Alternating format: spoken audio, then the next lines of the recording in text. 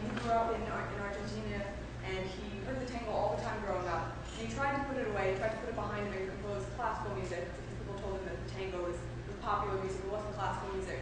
And then he realized that he put it away for too long, and really that was what was in his heart, and he realized, let me compose music that is classical, but is tango. He combined the two and did something for tango music and for classical music that no one had done before. Um, and everything that he wrote is in that style. wrote for guitar and flute.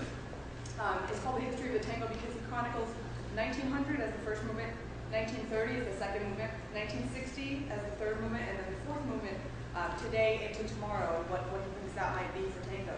We're only going to play the first two movements today. Um, we would have liked to play all of them, but we also want you guys to get some dinner tonight, so we're going to play just the first two for you today. But I really encourage you to listen to